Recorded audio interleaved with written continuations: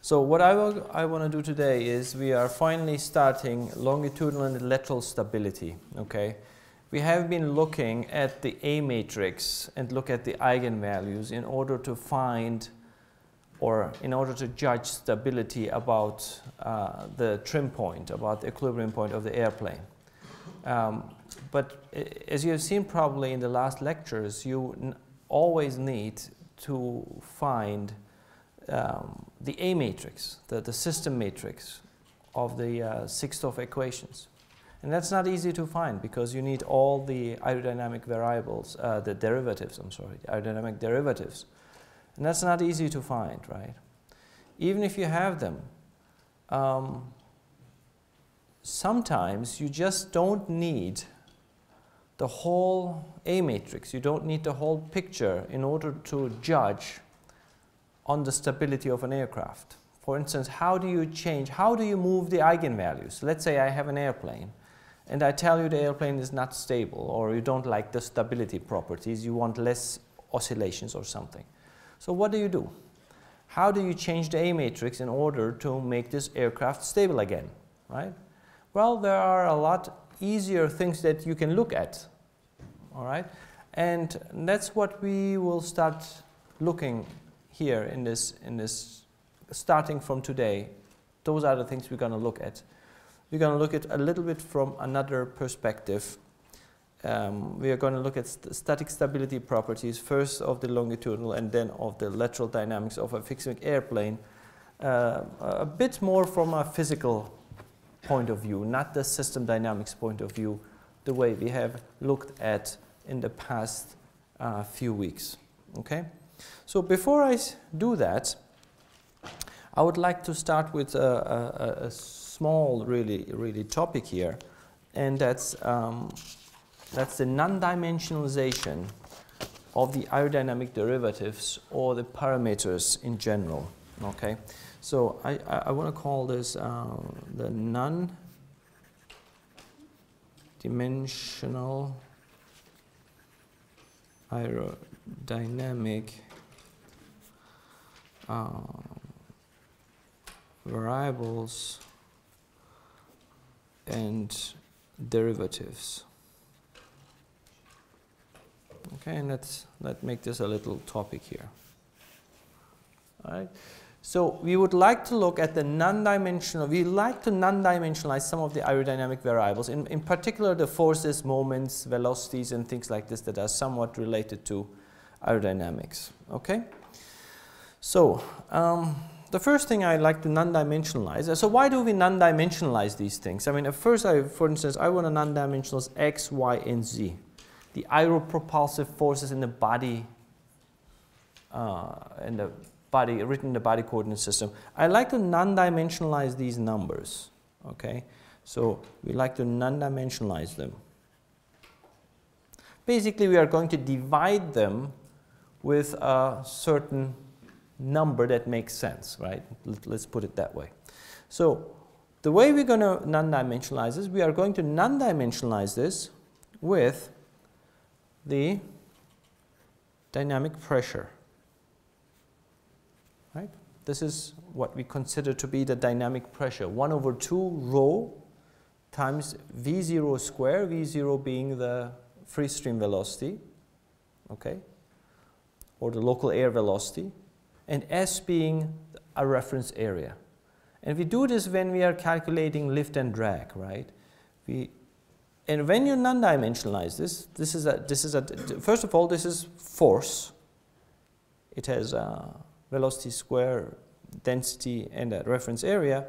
This is first of all force. So if you non-dimensionalize this x, for instance, if you divide x by this number, you, we, the, the, the symbology will be Cx. Okay? It just means it's a non-dimensional form of x. It's still x, it's just non-dimensionalized with this particular number, which is really the dynamic pressure. Okay? If you non-dimensionalize y, if you divide y by this number, you will get cy, and z by this number, you will get cz. Okay? Where v0 would be the local air velocity, velocity rho is the density, and S is the reference area. Reference area. Okay.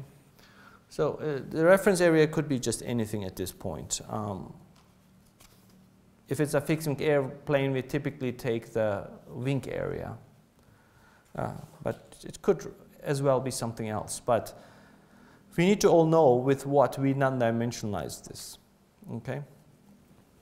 So why do we non-dimensionalize things in first place? Why do, we, why do I non-dimensionalize x? Why do I non-dimensionalize y? The reason we non-dimensionalize things is because um, it is easier to compare. Okay?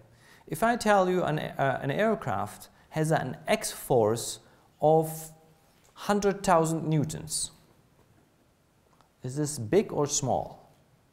I mean, for a big airplane, it is okay. It is not, you know, it is fine.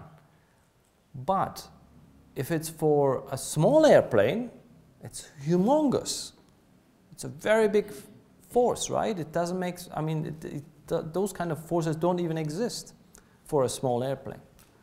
So how do we compare them? Now, if you non-dimensionalize it with the wing area now, suddenly you can compare it because the wing area now reduces, I mean, you divide it by the wing area. So how big the airplane is, is somehow embedded in this, in this, in this S here, right? A big airplane will be divided by a big surface area. A small one will be divided by a small surface area.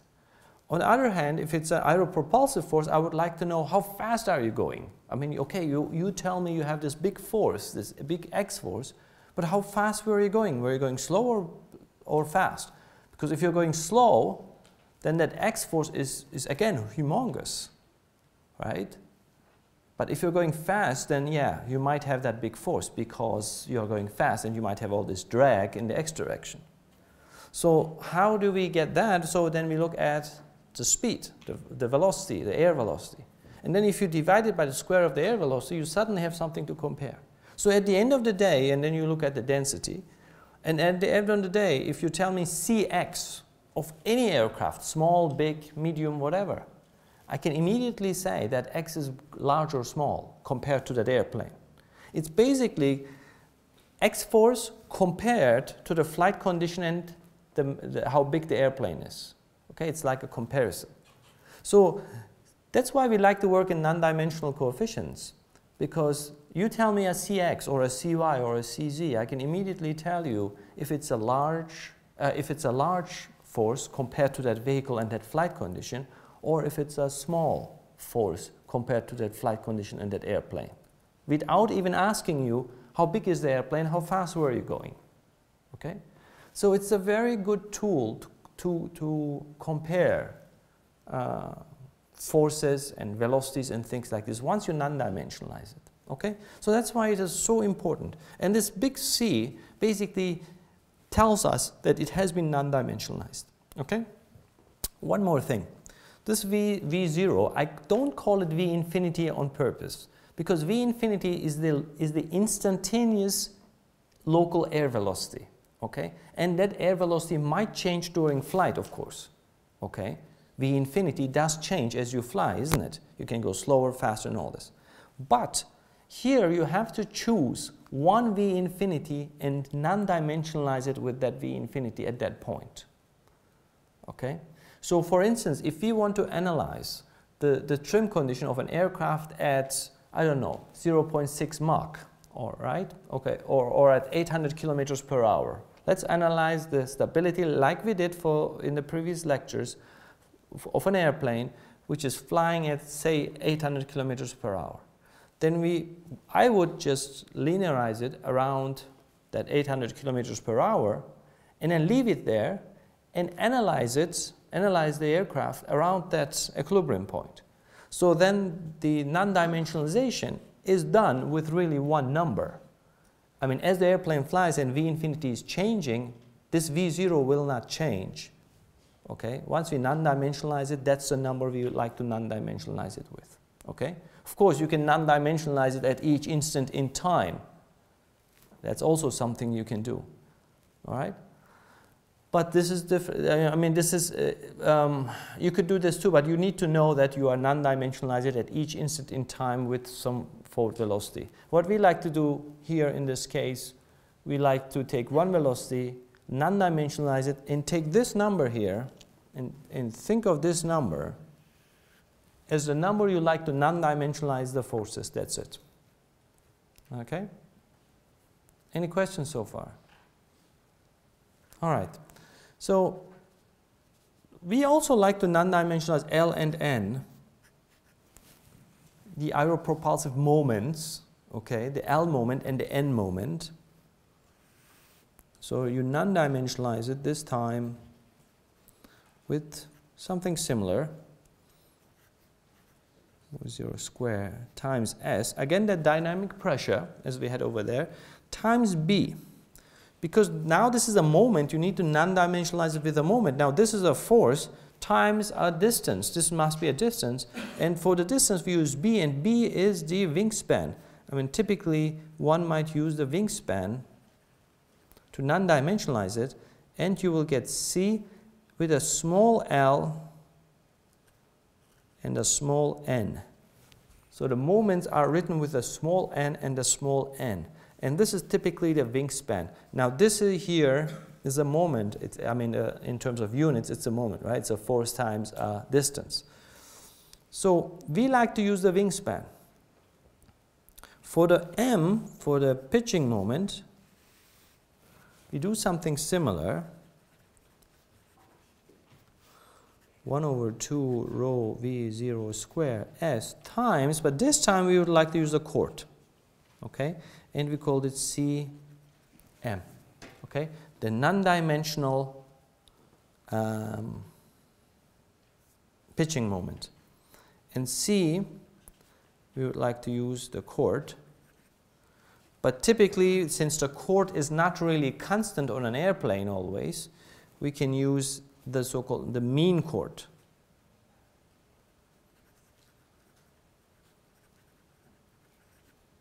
Mean chord basically taking the chord average if the chord is changing throughout the span. Okay?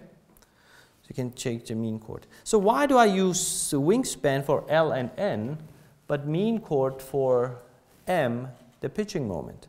Well, the reason is because L and N are really happening in the lateral direction, right? You do this, look up here real quick.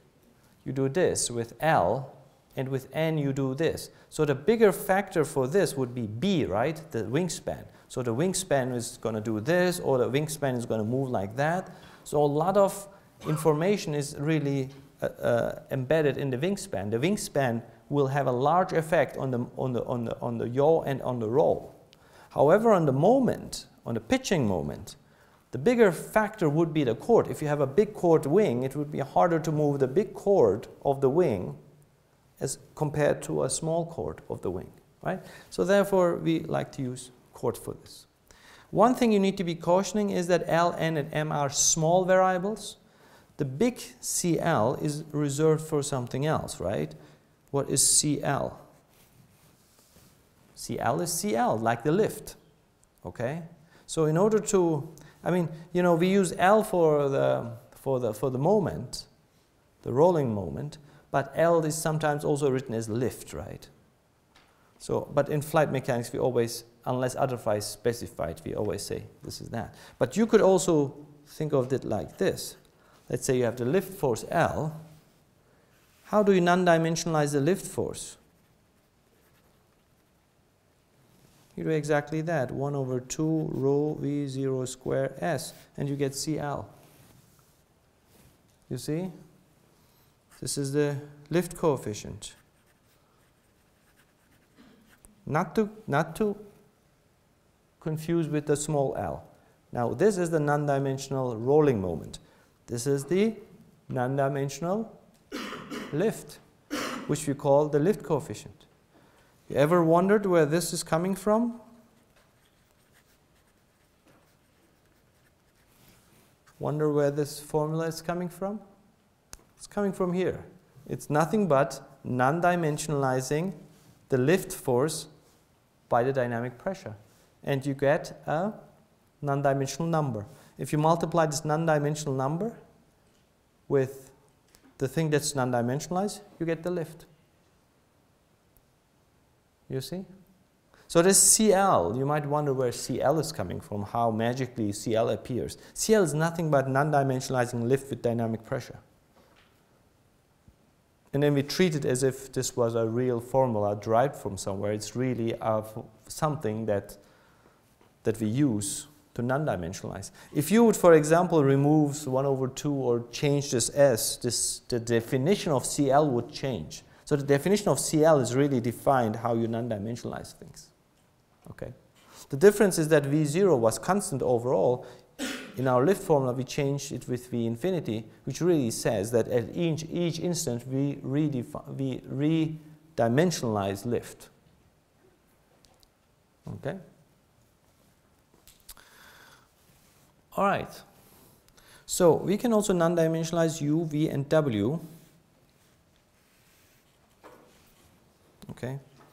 So we non-dimensionalize this with v0 or sometimes with u0 if the airplane is mostly going uh, at a small uh, angle of attack. You might use the body u velocity or v0 directly the, the air velocity that's happening. And we would like to call it a u hat, a v hat, and w hat. So it's non-dimensional velocities. Non-dimensional forces, non-dimensional moments, non-dimensional velocities. Similarly, we non-dimensionalize angular velocities, alpha dot, beta dot, and q, so as a function of time. So that will be non-dimensionalized. And we usually non-dimensionalize it with 2 v0 divided by c bar or u0 divided by c bar. Okay, v0 is the um, free stream velocity v0, or u0 is the um, body x velocity. So it will be this. Just non-dimensional values.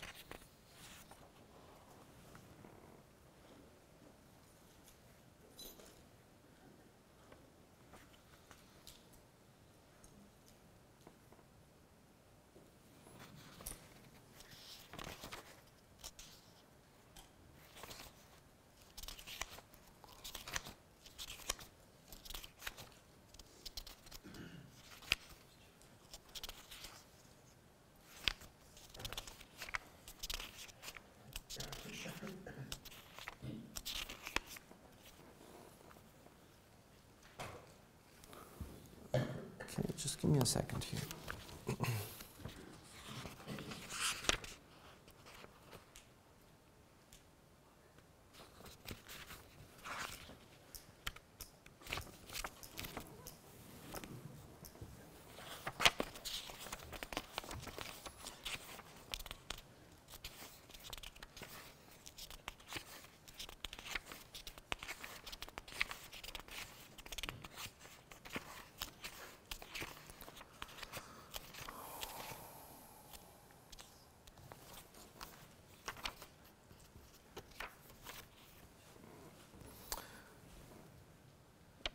Okay. So,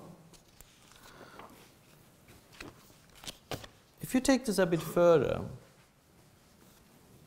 for instance, we had del x, del u, remember? And we, this is the partial derivative. We used to call this xu.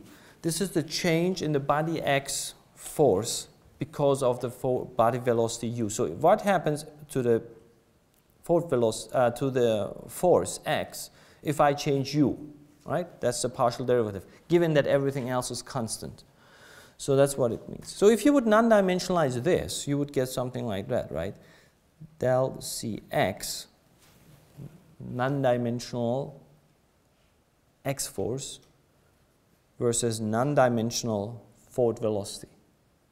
You would get something like this, C x u. So it is a non-dimensional partial derivative that tells me how x would change if I would change u on the airplane, but everything else being constant. And u and x here are non-dimensional variables. x is non-dimensional, u is non-dimensional.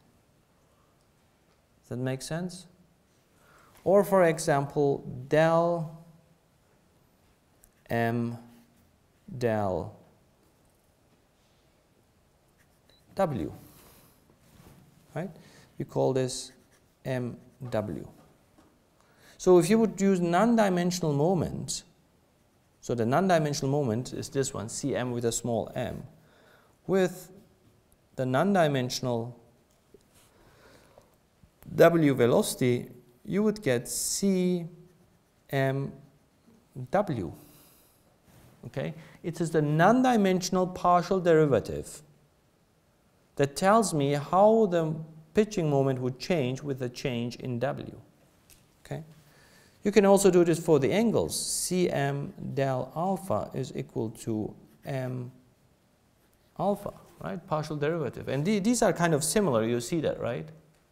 And this one here, and this w still represents somewhat the angle of attack. So this is similar, but you could also write Cm divided by C alpha, so you would get Cm alpha. And what you, what you're having here on this side now are the partial derivatives, but all non-dimensional. And we really like that too. Because now if you tell me Cm alpha for an airplane, I can immediately make a comment saying that this is high or low, or the sign is wrong, or something like that. Because if this was for a dimensional one, m alpha, for a big airplane, this might be large. For a small airplane, this might be small. In fact, changing on the, depending on the flight condition, this might be large or small. So if you just tell me m alpha, I cannot really comment too much. I will ask you, how fast is the airplane going? How big is the airplane? At what altitude is this happening? So I can make a comment saying that this is bad or good or whatever. But if you just tell me Cm alpha after you non-dimensionalize, it doesn't matter how big the airplane is or where it flies or how high it flies, I will immediately be able to tell you something saying that this Cm alpha is large or this Cm alpha is small or the sign is wrong depending on um, just by looking at this number without even looking at the airplane or its velocity. Okay? So therefore, this non-dimensionalization is really, really useful. And especially the partial derivatives, the partial aerodynamic derivatives. They become very nice to handle once they are non-dimensional. Okay? All right. So let's make a little table and look at all of these non-dimensional variables. Let's look at the longitudinal dynamics.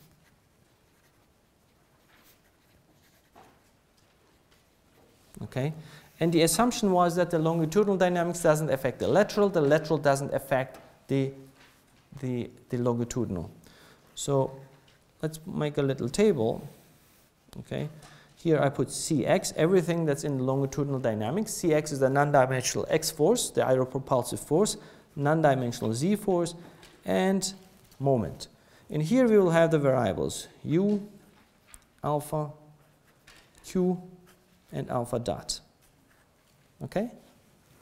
So the partial derivative of this, basically the change in Cx because of u, would look like this. See, these are the, all the longitudinal variables. I don't have the lateral variables here, right? So this would be CZU, and this would be CMU, partial derivative. Change of the moment because of u, which means I keep everything the same, I just increase or decrease u, how does the moment change? I change u, everything else is the same, how does z change? How does x change? Here, this would be cx alpha, cz alpha, cm alpha. How does the z force change if I change alpha, right? I could have also used w instead of alpha, you understand that, right? So the number would be different, but alpha would still represented by alpha by w. This could be CQ, and this could be CQ alpha dot, CZQ, CMQ, CZ alpha dot, CM alpha dot, okay? uh, some of the important partial derivatives in the longitudinal axis. And you could do the same thing for lateral dynamics.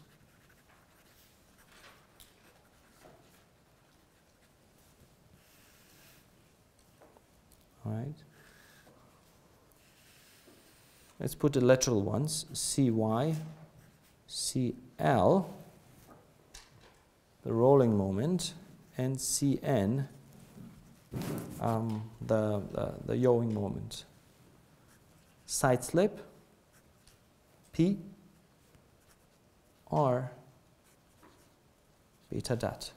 Again, the partial derivatives would look like this.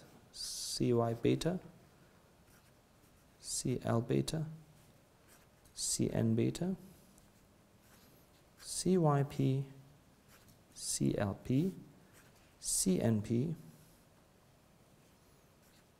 CYR, CLR, CNR,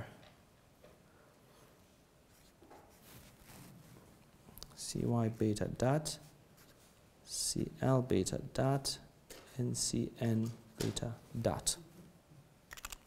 Okay? So,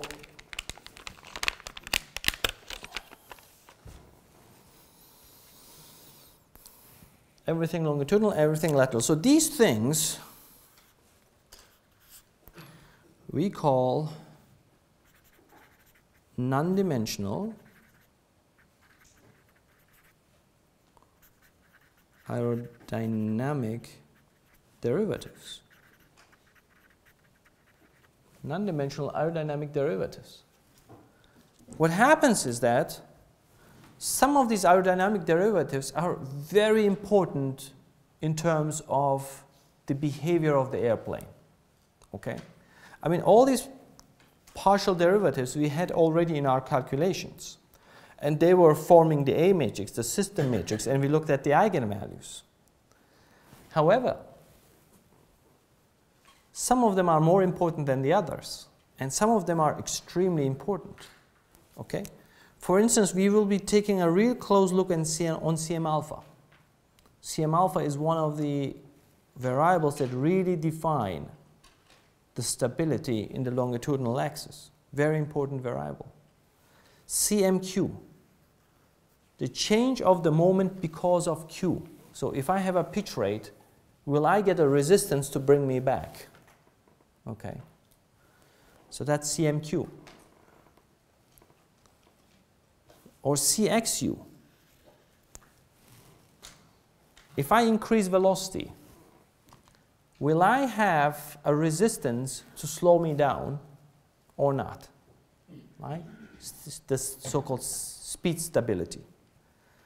On this side, CL beta, very important. Okay, CNR, again, very important variable. CN beta, very important. Not to say that the others are not, not important, but these are really fundamental. I really need to know, especially the sign or sometimes the magnitude, so that I can tell you this airplane is good or bad. It will be stable, unstable, too stable maybe, not stable enough. I don't know. But now we're going to look at a physical point of view onto these variables. Okay.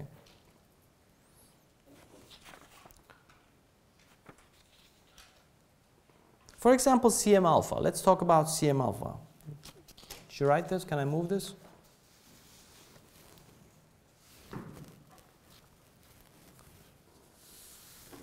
Let's look at that. Let's look at CM alpha for a second. Del CM del alpha. Okay? So what does it say? It says this. Let's say I have an airplane it's in trimmed flight. Okay? It's in trimmed flight. If it's in trimmed flight, what are the moments that act on this airplane?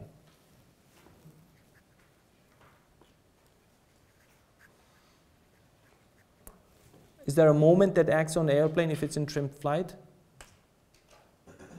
No, right? Because trim means there's, there are no moments on this airplane and the total forces and moments are equal to zero. So no moment, so m is equal to zero for this flight condition, right? m is equal to 0 for this flight condition. Let's say for some reason the airplane gets an alpha. I don't know why. There might be a gust, there might be a wind, or, or, or a bird is hitting the airplane, I don't know. Somehow you get an, at an alpha for whatever reason. And momentarily, everything else is constant.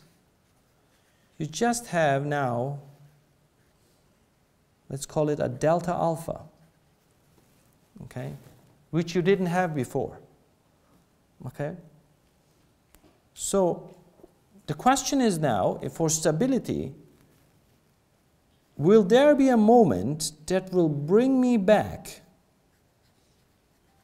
because of this alpha? I mean, because of this alpha, will, will this airplane generate a moment in this direction so that the airplane will go back nose down so that you have this flight condition again?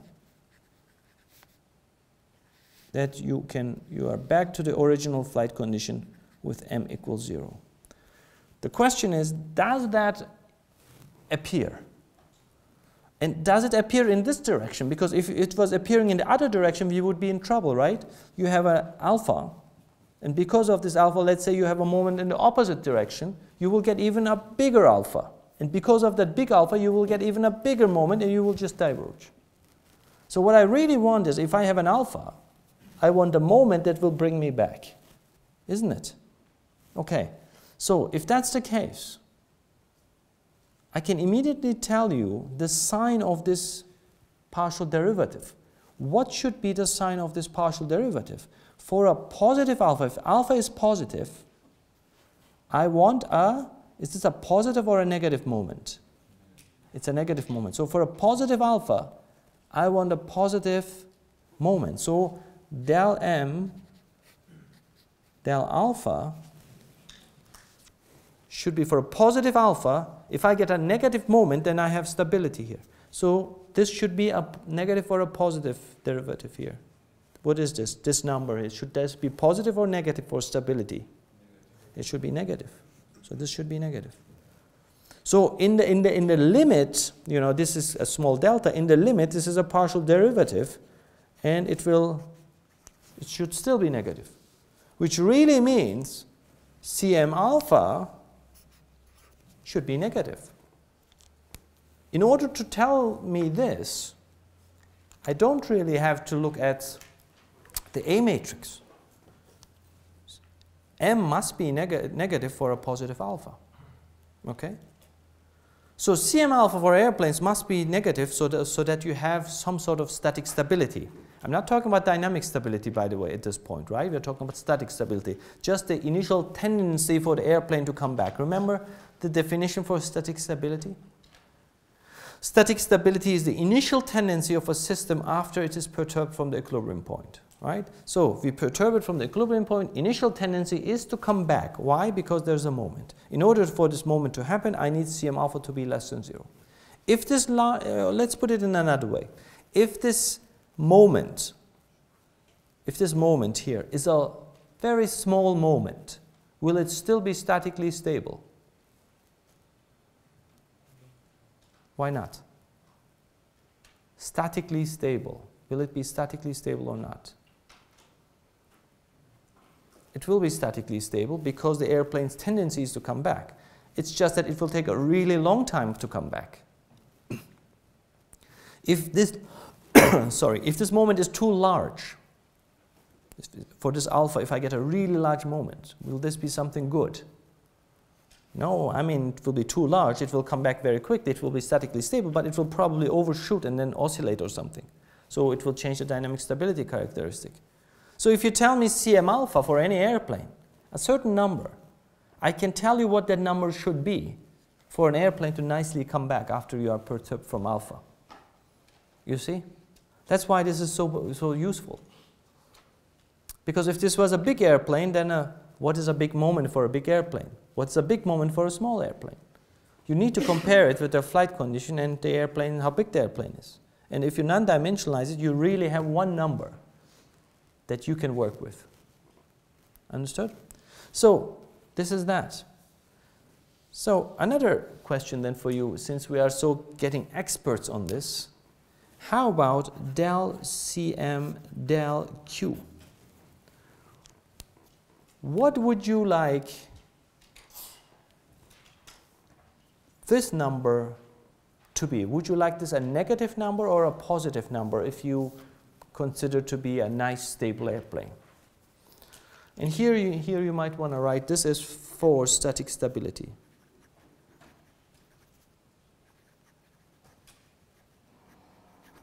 Okay, this is for static stability because the dynamic stability characteristics is really related on how big this number is. Okay, but for static stability, this should definitely be negative because if you have an alpha, the tendency must be to come back. How about this one? Should this be positive or negative? What do you think? Again, we have an airplane in trimmed flight. Suddenly there's a Q, an angular, you know, an angular rate, a, a, a, a pitch rate. How, what should be the moment for a positive pitch rate in order to come back to the equilibrium.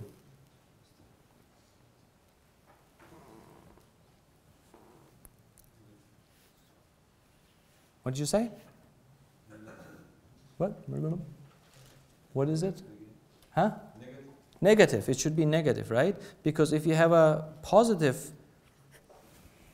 pitch rate, you need a uh, negative moment, right? Positive pitch rate, negative moment. Negative pitch rate, you need a positive moment. So this should definitely be also, so for this positive Q, you will need a negative moment, right? Or it could be the other way around. You might have a negative pitch rate. You will need a positive moment. So in any case, if this is negative, this must be positive. This is positive, this is negative. So this is definitely, again, less than zero for static stability.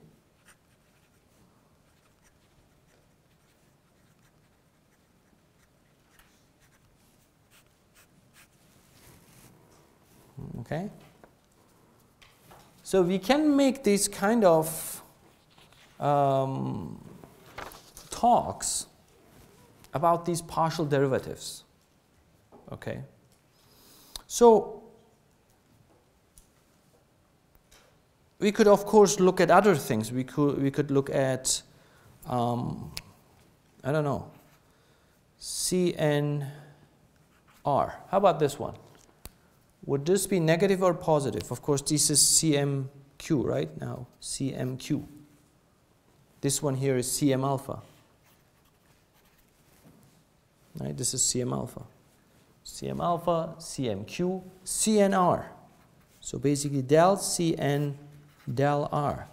Should this be positive or negative for static stability? What do you say?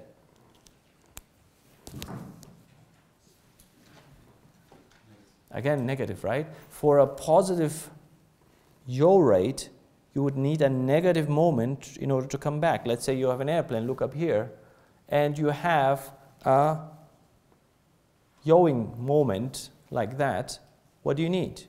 You need a moment in the opposite direction to bring you back. So for static stability, you would probably need that. Okay? For static stability. Let's say you have an airplane for where this number is a positive number. What does it mean? Just means that it's not statically stable in the yaw direction, right? If this was a negative positive number, it wouldn't be. So these are the comments that I would like to make, and, and, and note that I'm making physical comments here. For a positive moment, you need a negative, uh, for a positive alpha, you need a negative moment, right? For a negative alpha, you need a positive moment. So I'm making physical interpretations here. And what we are going to do next is we are really going to look at the longitudinal static stability